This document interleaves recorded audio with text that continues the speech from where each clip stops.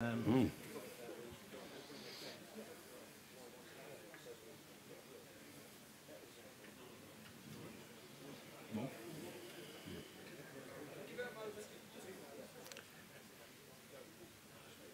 There we go.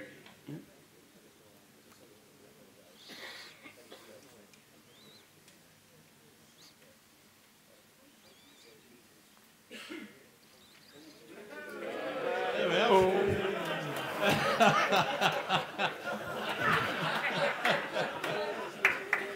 I'm, sorry, I'm sorry about all the, uh, the, the preamble, but um, we, we, we, uh, we tried to get, uh, get that in, so. Jim didn't know about that, by the way, so that's very, very good. Right. Um, okay. Is it the same one? Where's? Hey!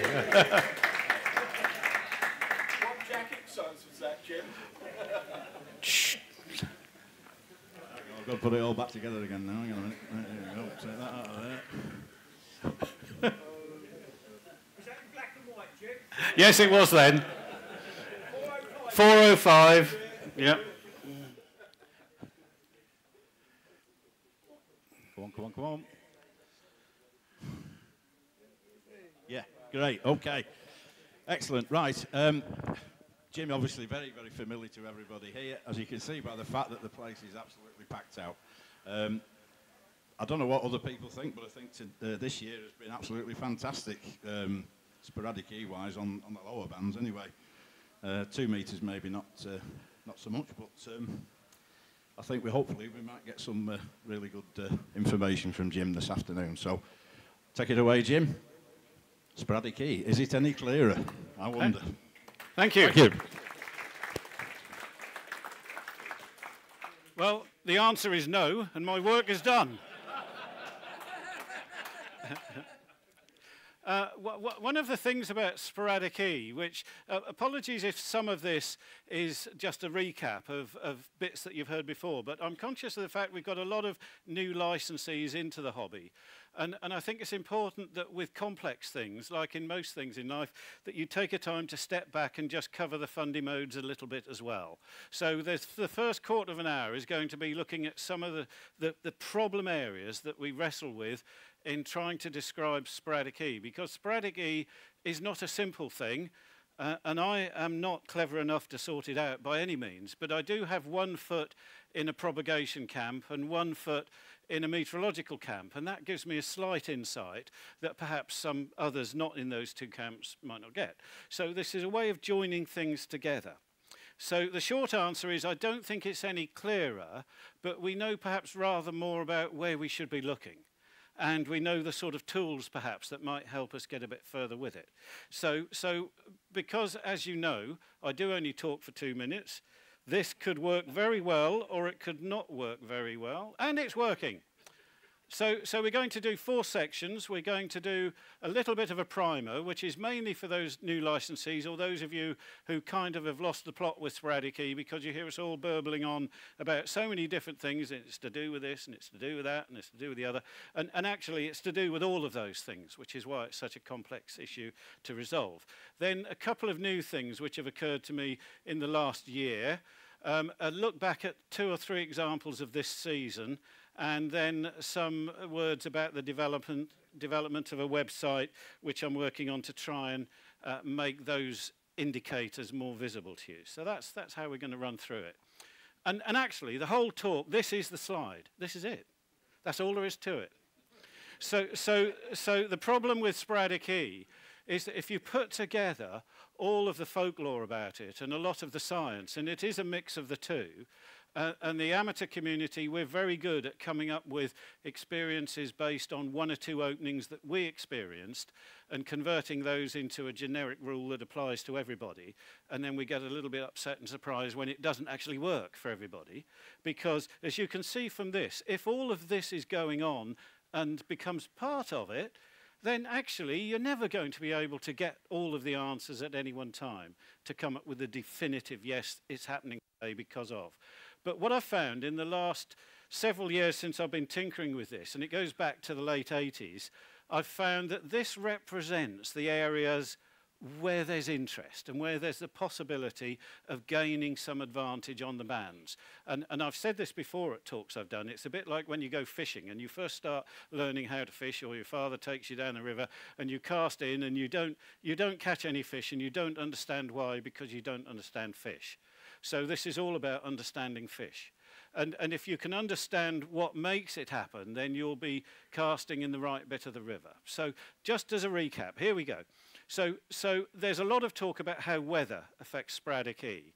And weather consists in general in the stories of mountain waves, jet streams, upper ridge patterns, and thunderstorms. And I'm sure that you've heard all of those things mentioned in the context of sporadic E.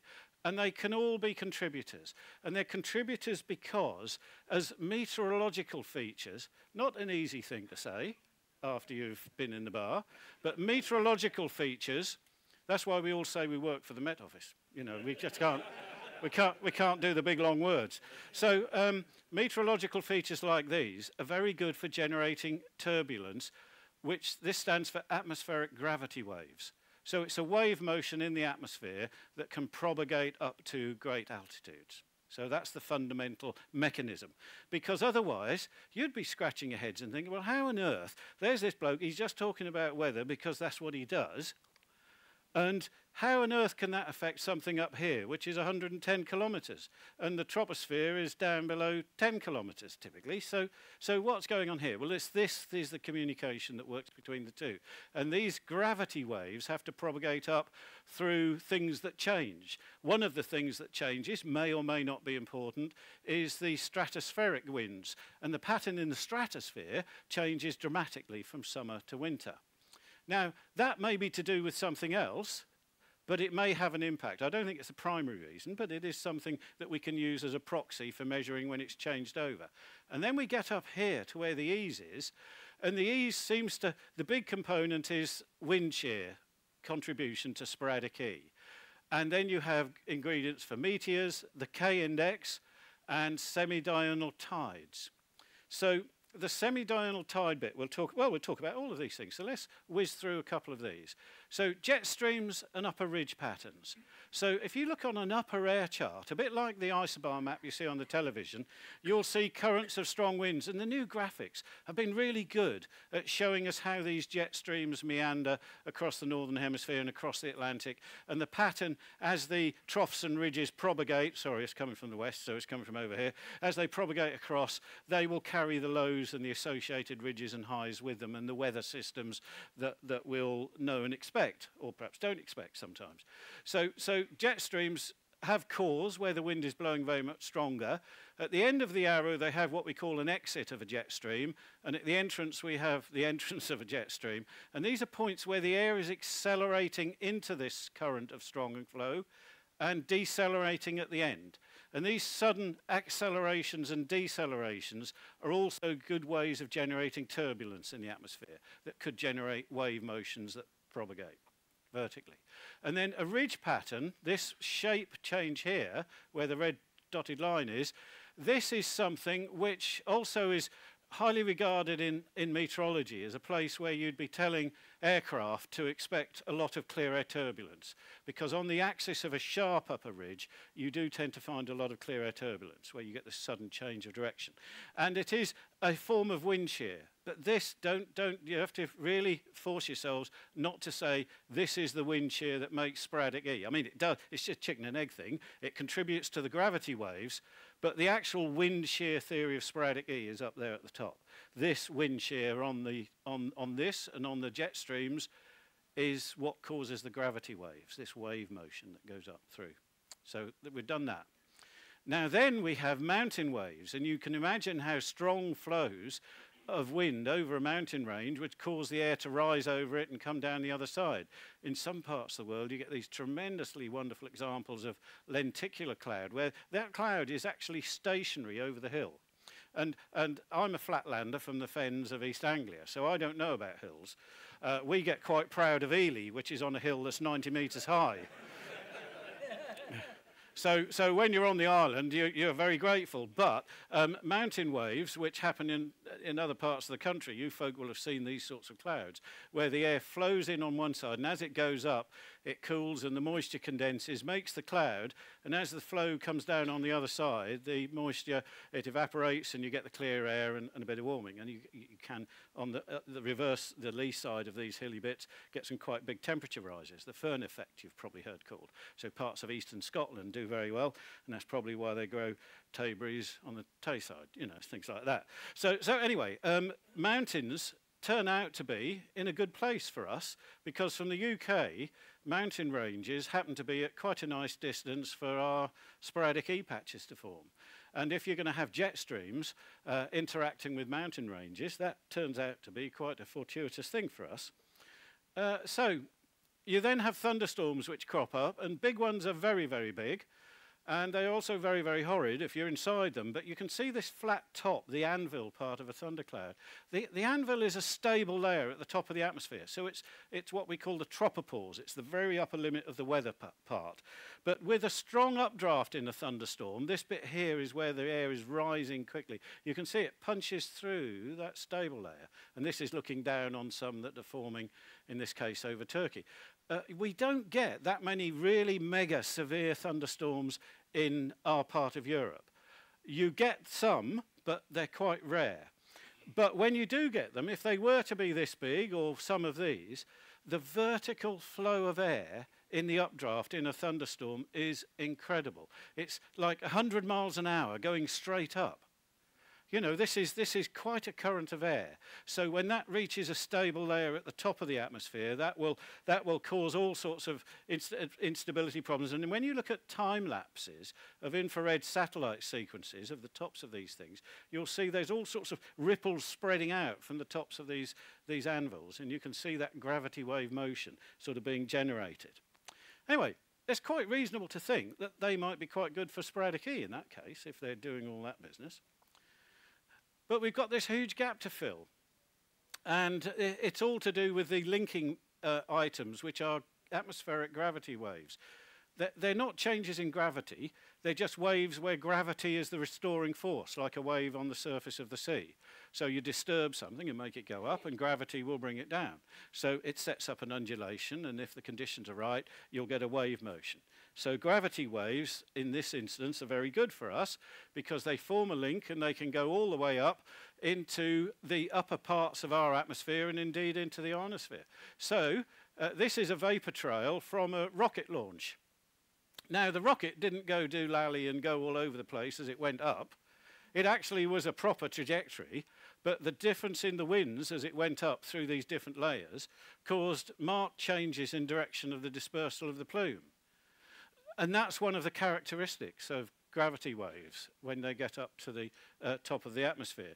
These are things that you may have been lucky enough to see, uh, noctilucent clouds in the summer months, low down on the northern horizon. And the one thing that they're useful for is telling you that gravity waves do at least get up that high. This wave motion is probably caused, in, in many instances, by things in the troposphere, the bit where the weather lives. So th these are at about 85 kilometres up. So we're getting there. We're getting very nearly up to the E region. And there's no reason to think that you wouldn't get wave motion uh, because of these things going on much higher. And indeed, you can measure it. So that's the communication. Then we come to this, how effectively it goes up. This is a, a thing about stratospheric flow. Here is, uh, th there's quite a complicated graph, so just bear with me on this one. Time goes down here, so starts at the top on the 16th of May and ends up on the 10th of October. The equator is this side of the diagram, and the North Pole is this side of the diagram. So we are sort of in here, in the middle, where this red line is. Blue is an easterly wind in the stratosphere, and brownish colour, uh, sorry, westerly wind in the stratosphere, and um, uh, brown uh, sorry, brown is the westerly, blue is the easterly. Let's get this right. Uh, the, the, people who published these changed the colours uh, about five years ago, and I'm still going back to the time when they were the other way around. Anyway, the point is, at our latitudes, it changes roughly the middle of May. From a winter westerly, you get these very strong westerlies around the North Pole, to a slack flow in the sun. This is a zonal average, so it's averaged over a latitude band around the northern hemisphere. So, so here we have something that if I showed you all the way up here through the winter, it would be all very head-banging uh, westerly. The equator is a strong easterly, but it changes every couple of years, and that also becomes a westerly.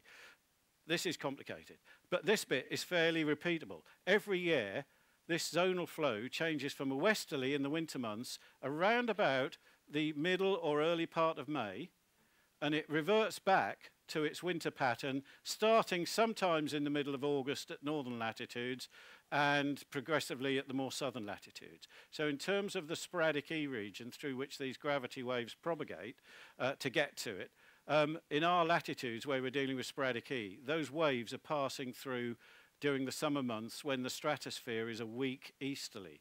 May or may not be the interesting part of this because the stratospheric winds are in themselves a symptom of the warming of the northern hemisphere. That changes the circulation pattern. So it could just be another way of measuring how much the northern hemisphere has changed in terms of its thermal properties as we go into summer.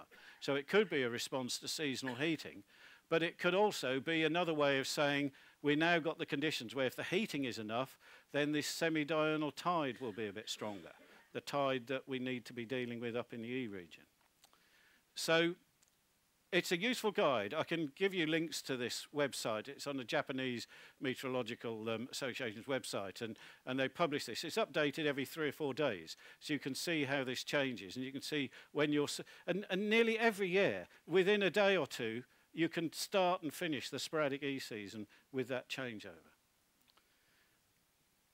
And here's an interesting example of what happens when you have a winter period. Here are these strong westerlies in the browny orange colours. And look at these sudden blips of easterly going on here. And these are to do with sudden stratospheric warmings, which got into the news. They were the, they were the forecast reversals of the wind in the stratosphere that, that meteorologists look for about one in three winters will give you a really good example of this. And it's when you get such a tight vortex in the polar stratosphere that it's whizzing round that it actually becomes unstable in, in the sense that it breaks up. And like a, a cell dividing, you can get bits in the stratosphere which uh, the temperature changes by 45 degrees Celsius in 24 hours because of this disruption of this smooth rotating polar vortex. And what it does, it alters the pattern. Now, it does occur to me that on some occasions, these, co these correlate pretty well with these unusually strong out-of-season winter E's events. And it's worth keeping a look on those sudden stratospheric warming maps to see whether you're likely to get a better chance of getting some E's out of season. There's never a non-season freeze, by the way, but, you know. Um, they, these are sometimes quite good guides. This, this, in effect, this sort of thing is beast from the east material. You remember beast from the east.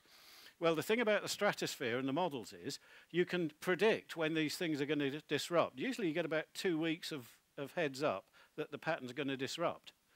And we were all saying, well, there's going to be a cold spell coming, people. You know, and I said, whoa, haven't had a cold winter in years. Anyway, th this thing, two weeks notice, cold, cold beast from the east jobby, because it takes two weeks for this to disrupt from the models first picking it up, and then another two weeks for this disruption in the stratosphere to propagate down and give a blocked pattern or an easterly pattern at the surface, and hence the return of cold, proper winter weather. And, that, and that's, um, that's how the beast of the east came about. So, sporadic E here's your next, you know, red sky at night, shepherd's delight. Uh, sporadic E in the middle of winter, chop more wood, you know, get, get, get, get ready for the next cold spell. Because you could, you could, on a good season, make that link and find that it works. But it won't work all the time. Anyway, semi-diurnal tides, this heating, when the sun rotates, of course, um, a different bit of the planet is facing the sun and the atmosphere is getting heated. So it turns out that in mid-latitudes, it's not the diurnal tide. Uh, tides are things that change with the rotation. So, so the fact it's a tide doesn't mean it has to be water. It, it's change in temperatures. And the semi-diurnal tide um, produces a change in temperature, which is slightly stronger in mid-latitudes um, uh, as, as a semi-diurnal component. And it may well be that that has something to do with why you get the two periods in the day when sporadic E is more likely. That the tidal wind flow is one of the things that the weather bits modulate as these gravity waves propagate upwards. So the, the way I describe it is you know when you if you go to western scotland and you're standing on the side of a sea loch and the, the tide's rushing in this narrow inlet you'll see all sorts of standing waves set up on the surface of the water as it floods into the loch. And then when the tide turns and it all stops flowing it's calm because you're not seeing that wave motion. And then when it goes back the other way you get the wave motion again. So think of, think of these in a, in a very subjective way, that these semi-diurnal tidal signatures alter that flow, um, giving you two periods in the day when we're operating, when there's something to modulate with the weather bits from down below. That's how I interpret it. But, but we'll have a look and see how that works. So these gravity waves, when they get up as far as the... Um, have I done two minutes yet? I've done one and a half, haven't I? Um, so anyway, so, so the, the signature of these things is that when these gravity waves get up there and modulate the semi-diurnal tide, what they're doing is, at, in a vertical orientation, you can get, because of this feature, you can get winds blowing in one direction at one height and in the opposite direction at another height. Now, if we say that sporadic E layers are to do with intense ionization that's focused together that may already be up there. And the idea is from rocket soundings that people have done that, that sporadic E clouds are composed of debris from meteors that burn up. So that stuff lasts quite a long while compared to the normal gases up there in the E region that get ionized by the sun's radiation, the UV, and that recombines quite quickly. So it's not ionized for long enough to be affected. But the meteor debris is long-lasting ionization. So this, this counter-directional wind flow, if you're moving a charged particle through a magnetic field, it will be deflected. So you will deflect the ionization down in one layer and up in the other, and you can get a denser layer of ionization, which is how the sporadic E patches come about. So this, this is the wind shear theory of sporadic E. And it's the physics that most of the professional research people have had accepted as the way you make sporadic E. What is not uh, uh, very clear at the moment is, is what the individual components are that make the wind shear happen where they do and why some days are different to others. But this is the actual bit of physics that makes it happen. And of course, it follows that there'll be a layer up here somewhere where the ionization is being depleted. So, so, and the other thing that happens is because of this tidal signature and the way the other atmospheric motions work up there, a layer, once it's formed, will descend very slowly over time. So when it first forms and becomes dense enough and you first pick it up, say at 10 meters on 28 megs, it will be at quite a height. And as the intensity increases, the, the actual layer is usually de decreasing in altitude. And when you look at the ionosondes, you'll see evidence of it coming down in height. So often the longest paths, if you can get it strong enough at a high enough frequency, then your longest paths will be early on in the period. Because as it comes lower, the geometry says the paths won't be as long. But, but equally, the, the HF bands, you know, as it goes shorter and shorter skip, then it's a sign that the ionization is increasing. You need to switch up to the next band. The K index is the other one. We've always, well, I always thought that you tend to, and you do, you tend usually to get better E's openings for those low K index values. You can get hold of these all over the shop. It's a planetary index. So it may very well be different in one part of the hemisphere to another.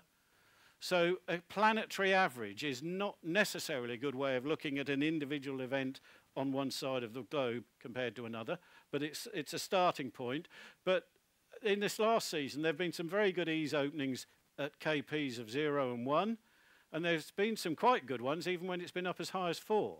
And then when you get to the really bigger numbers, um, you tend to be talking more about auroral E's. And the ionization is coming not from meteors burning up, but from auroral input and so on. So So K-index is, is one of those ingredients that can feature in it, but if it changes suddenly during an opening, it may, I've seen openings that have been absolutely stonking openings, widespread openings all over the shop, and then all of a sudden just switch off, just, just like somebody's thrown a big switch. And it is usually when the K-index has changed. I've seen it go from KP of 1 to 4, and that's just shut it down completely. Now, that may, may not have been because of that. It could have been something else going on, and the KP index is just a response to it. But it's another proxy for saying, oh, well, we'd better make the most of this because if the K's gone up to 4, may not last much longer. And then there's the other one about the meteor input. And, and this is quite interesting as well because we, we, we know from measurements that sporadic is composed of meteor debris. And when you look at this wonderful site that, that shows you the, the results of people observing meteor pings, you'll see there's quite a, a, a, sequence of events in some months when things happen. And, and that's readily available from stations all around Europe where you can keep a check on things. But the point about it is, you have to think of meteor debris as being like the fuel. It's like somebody coming along and delivering two sacks of coal into the, into the scuttle out the back, and that's your supply. Now, if you've got no weather triggers to use it up, it'll stay there and it won't be used and it will gradually recombine and that'll be the end of it. So to say book the first week of June off for sporadic E, which is a good valid thing to do, I might add, and a lot of people do do it. Yeah, but it, but it doesn't always work. And it doesn't always work because although you've got the fuel being delivered, if you haven't got the right weather triggers going on, it won't manifest disease necessarily. But this is why meteor debris and meteor showers does appear to work sometimes, but not all times. So, so it's another thing in the, in the list of many ingredients. And then there's something else which kind of is linked to the K index, the solar input. And, and that's another thing which I'm starting to think about because of these high K index events where, um, where there may be something more direct going on. So, so there's a lot of interesting stuff. So anyway, that's the, that's the primer. So now we're going to have a look at a couple of new things. Here's, here's one new thing I've hit upon, which is, uh, you know, we said jet streams are particularly good at um, uh, being areas where you're more likely to see E's form because of the turbulence they generate in these gravity waves. Well, associated with weather fronts, the, the tropopause, the top, you know where the top of that thundercloud was, the, the anvil top? That's the tropopause, in effect. It's the top of the weather bit. And when you get a weather front going on, it can, in some extreme cases, get folded down uh, the frontal slope because of a circulation that goes on around a weather front. And these become regions of very strong enhanced turbulence. So more so than just an ordinary jet stream. So they may be occasions when there's more likely to be turbulence and more likely to be gravity waves generated. So there's this business about trying to focus on which bit of the jet stream is the key bit because jet streams are great big long things. And, and it's not altogether clear which bit of it is doing the business. Some bits of it, you can understand where it's being distorted by a mountain range. You could understand how that might be causing wave motions. The entrance and the exit part of it, where there's all the decelerations and accelerations going on. But there is this other bit along the particularly active fronts where tropopause folding um, it's, it's becoming a, and, and I know there's people in here who will be aware of this and have done some work with it, but there's a lot of work going on about how to predict turbulence for the aviation industry. And the avi aviation industry is very keen to avoid these things, so um, anything that can be used to do that is good. And uh, there are some charts available now which I've been looking at which show probability of tropopause folding, so turbulence due to, and you can see along a weather front, these weather fronts stretch out for hundreds of kilometres, thousands of kilometres in some cases. There are zones, narrow zones quite often, where you've got a high probability up this top end, 85 to 100% probability of getting turbulence generated by tropopause folding.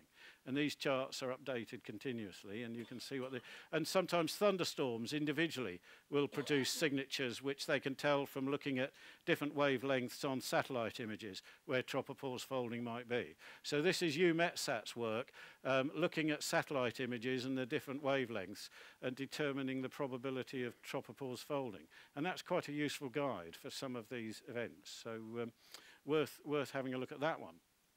And then the other thing uh, I found a tip on this paper by some, some, some folk over in Eastern Europe and Greece, and they were looking at some activity from severe storms. You know the ones that I said, the truly severe ones, where you get these big updrafts of 100 miles an hour. Uh, these, these thunderstorms have all sorts of stuff going on, sprites firing off the top, of, and all sorts of things. And they did some work where they were looking at uh, events where thunderstorms, as they passed by, they actually uh, reduced a, a pre-existing sporadic E layer.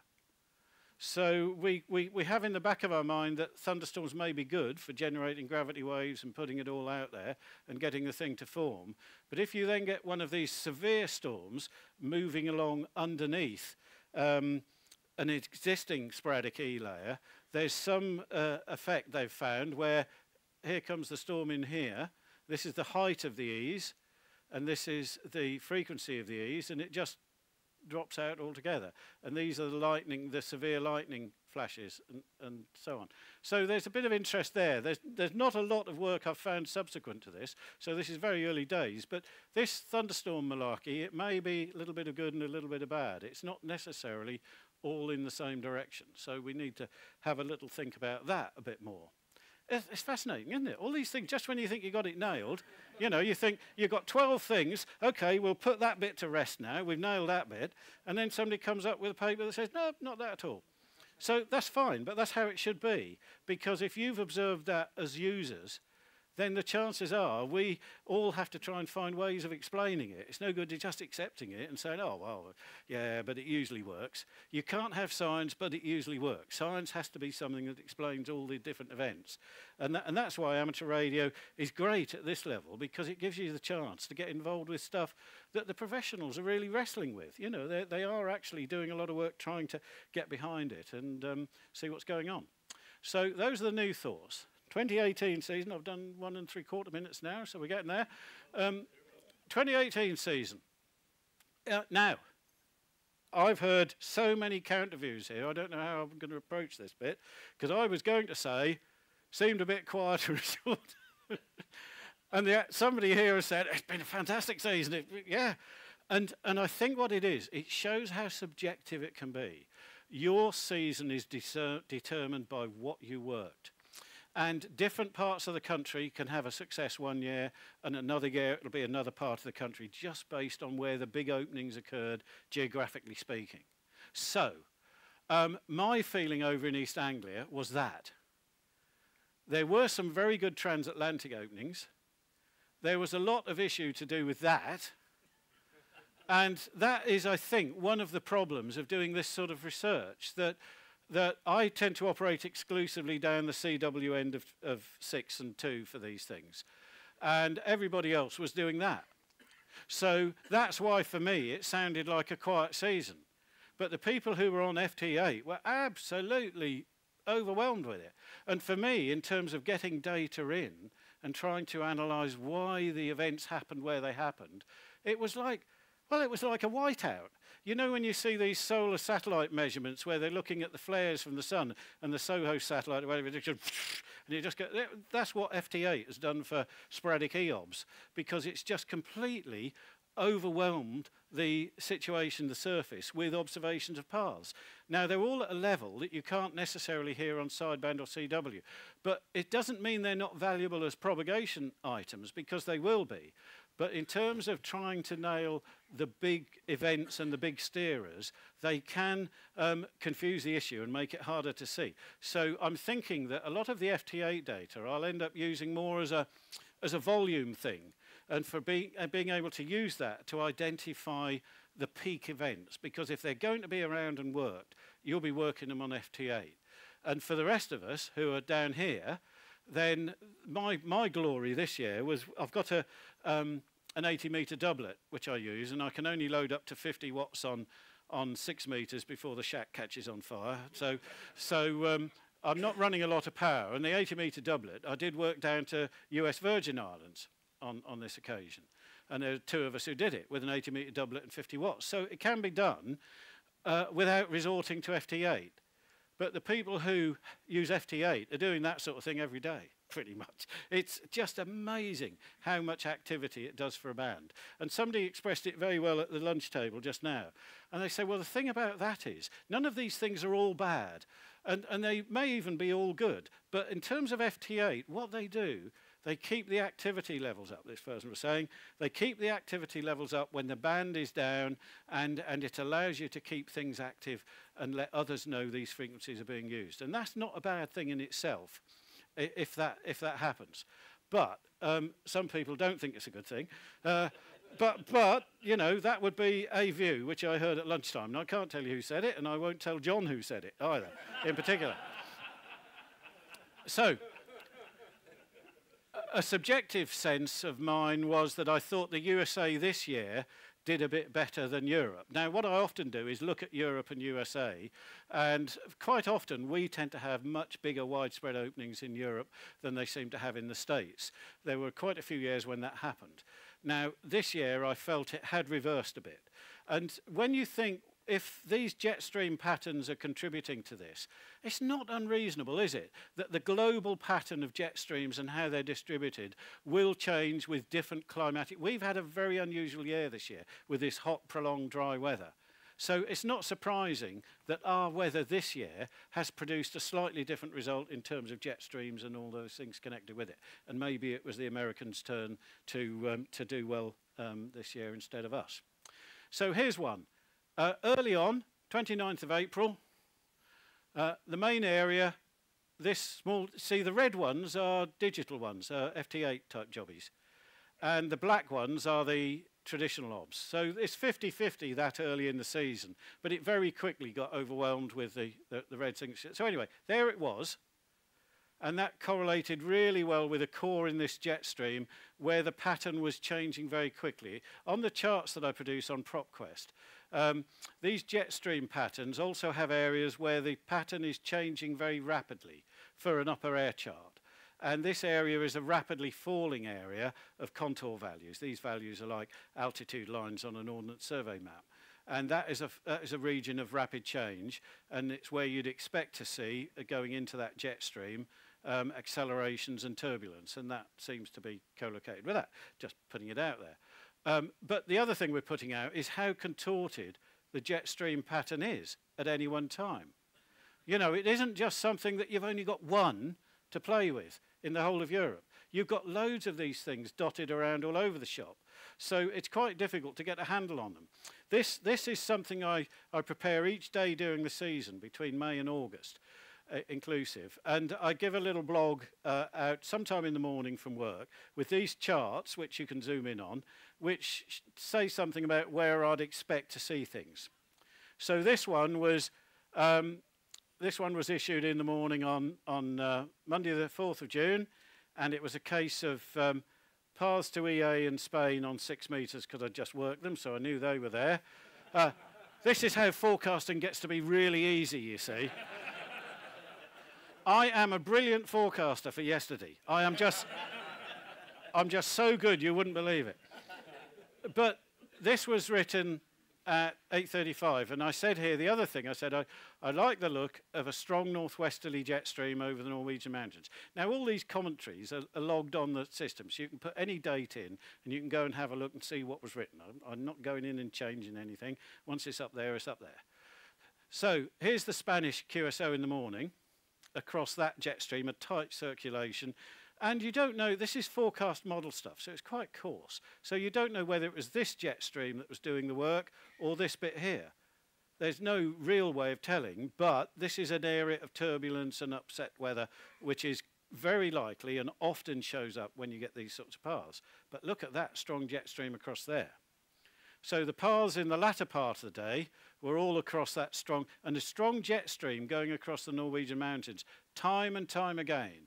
That is your opening to the Scandinavian countries on six, when you get one of those. These are the big thunderstorms. And these colours, when you start to go in the really deep purple things, this is, this is like a very angry person. You know, this is somebody really angry. And you will get a lot of this strong up, up stuff and a lot of uh, gravity wave stuff. But if the East European research has got anything to go by, this may be a bit of a quencher for the whole deal as well. So um, that, that'll be something that will uh, become clearer, hopefully, with more OBS. Anyway, so then we had this wonderful thing that I was so chuffed with. It was a weak signal, but the jet stream got us off to a good start here because here I am, and I was my first version was somewhere on the edge of this jet stream, and then it's sort of down to the southwest DX maps. And there are loads of other of these um, suppliers of clusters. All the clusters are equally valuable. They're just fantastic resources for anybody doing work on sporadic or any propagation. And, and I just happened to pick this one because I'm used to using it. But there are loads of Dave RAUs, got good stuff on there. There's loads of them. Um, KST and everybody else. So, so they're, they're, all incredibly valuable, and this by no means picks one out over another, other than just to put something on the page. So let's have a look at our tropopause folding thing. Well, that was a whole long line of paths down there. One of the next things I want to do is to get the projections all the same. So we're putting the data onto one Google map where you can line things up properly, and that would be a big step forward. So this tropopause folding malarkey is actually showing quite a bit of promise for some of those things and, and showing when you think, well, there'd be one bit of the jet stream that's producing a you could get these things hopping all the way down to the Caribbean.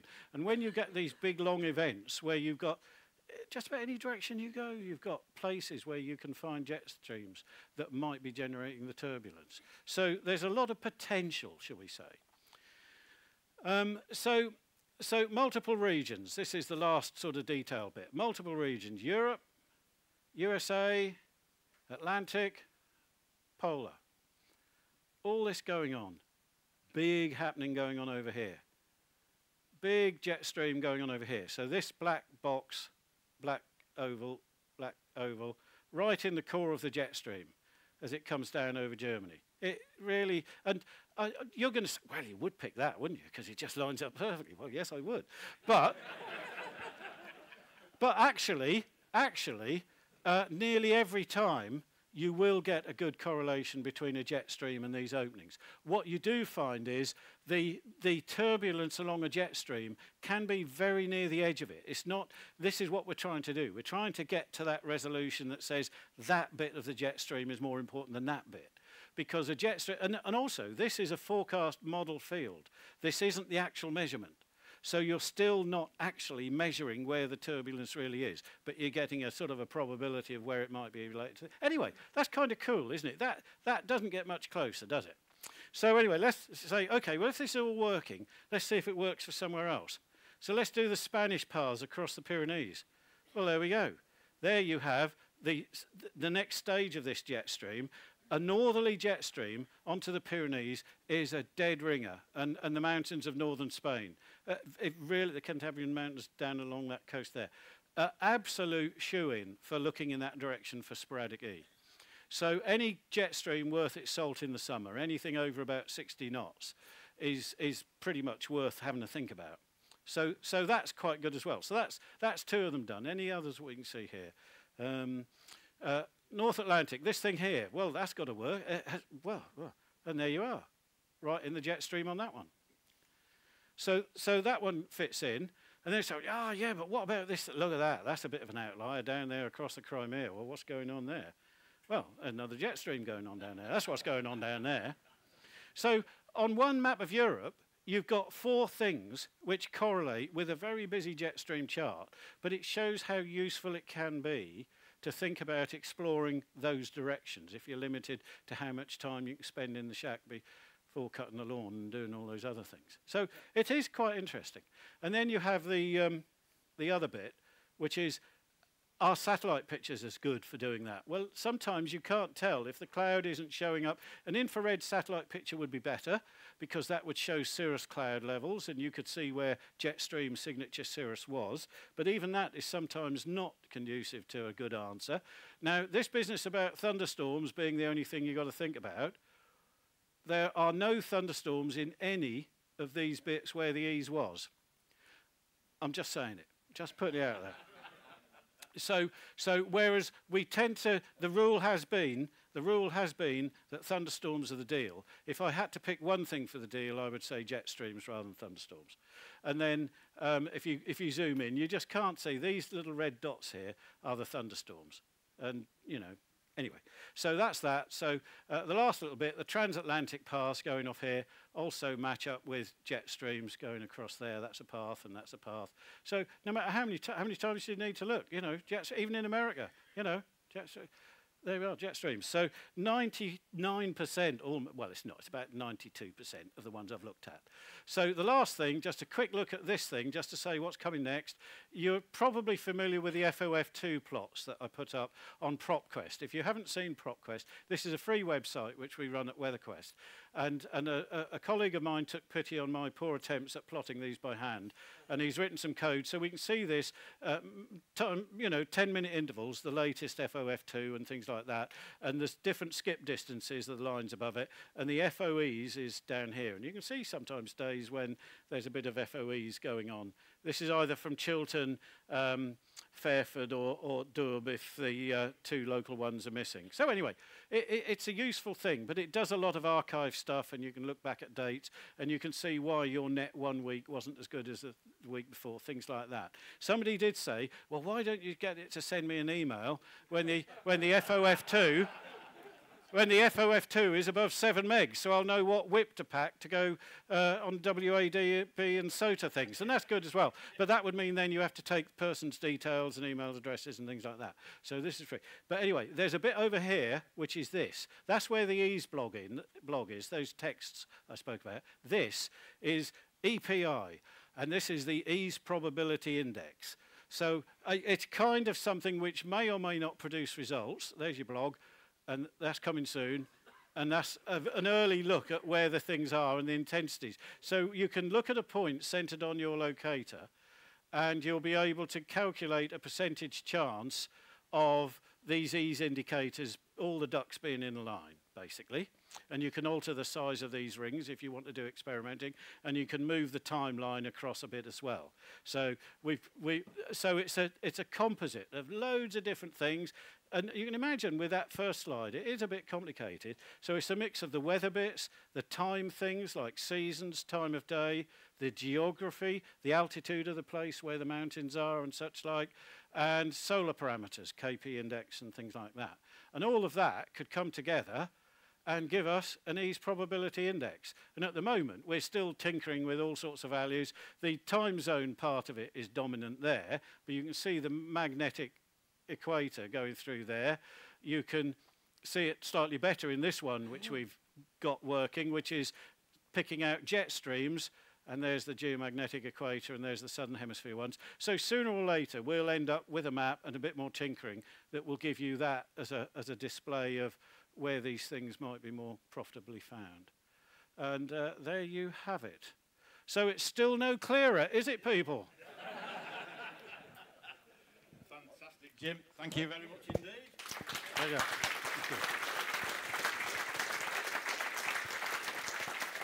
Thank you. Now, I know it's tea time, but um, just take a couple of questions only, if you would. Hello, Dick. Yep.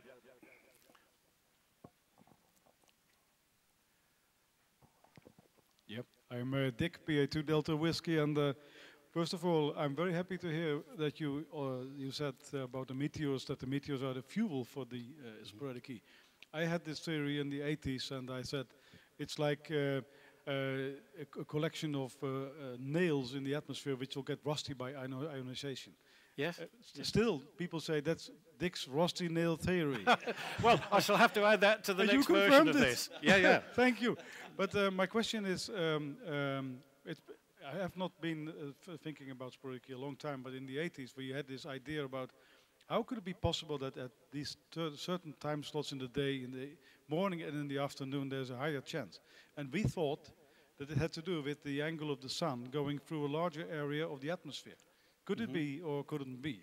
Well, it could be, of course. But yeah, yeah, no, I think I th because because the the E's is composed. The rockets have decided that E's are made up of uh, meteor debris. Yes. And, and therefore, the angle of the solar input, the radiation per square metre, presumably wouldn't have such a big impact in that. Uh, the, way we think that affects it, the two times, is this semi-diurnal tidal wind flow making the, e, the tidal winds interact with the gravity waves from below. So your temporal bit comes from that. In fact, there are four of these opportunities in a day, in a, in a period when you could do it but, but um, we haven't come up with a reason why it might be related to the solar elevation, other than indirectly that the solar elevation determines the strength of the heating over the land, which determines the magnitude of the semi-diurnal tide. Okay. Thank you very much. Right. It's not that there's more meteor input at that time of day. I don't think so. I've, you're Uh, saying because it's it not. happens twice, yeah. Yeah, So it's yeah. Yeah. So No. it's actually the opposite to meteor scatter. Yeah, yeah. Where, where you just get it once in the morning. Yeah, what would be interesting, I keep forgetting the figure. There is a figure for how long people expect meteor debris to recombine, but it's a lot of sec- it's many, many, many, many, many seconds. Yeah, So, it's- so it's time for this effect to take it, take, take its course. Yeah. It's all down to size. It, well, that's uh, the cup, the cup on the thing there from the talk earlier on. life. Yep. Okay. Oh, here we Go, are. Jim. As an answer to John's point, there's a lot of evidence that actually that this isn't anything to do with large meteorites, but micrometeorites, uh, where you don't normally see it by meteor scatter. And the papers by Jim Kennedy show very clearly smaller density stuff being moved up from the equator and then being dropped down on mid-latitude areas. And I was talking to Jim about that last night, and that does not vary too much during the day. It's almost constant, irrespective of what normal meteor scatter reflections give. Yeah, Good. Thank you, John.